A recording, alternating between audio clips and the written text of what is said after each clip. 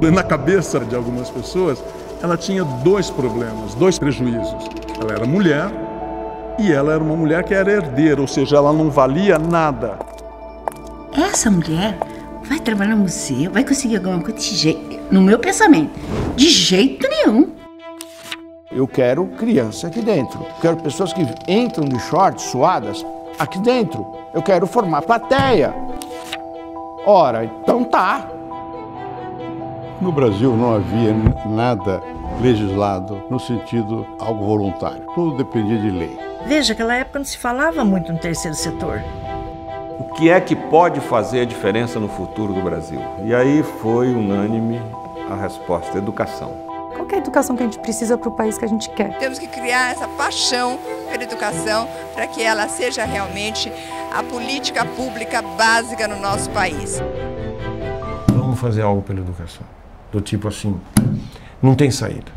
Não tinha é, lapso de tempo para as coisas. As coisas tinham que acontecer sempre ontem. Vamos juntar o presidente do Itaú e o presidente do Bradesco, o presidente da Ambev e o presidente da Coca-Cola. Vamos botar todo mundo junto. Sabe aquelas pessoas que você nunca imaginava de ver juntos?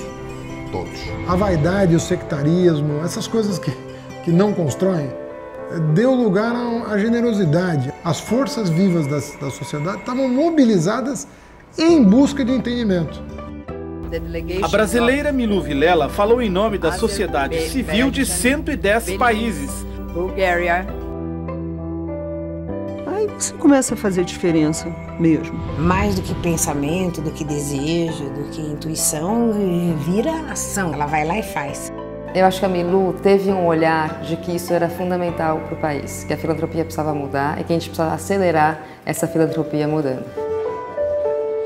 Numa sociedade, não somos nada individualmente, mas coletivamente, no sentido da vida que se constitui numa sociedade, pessoas juntas tendo que plantar o trigo, colher o trigo, fazer o pão. É todo mundo junto.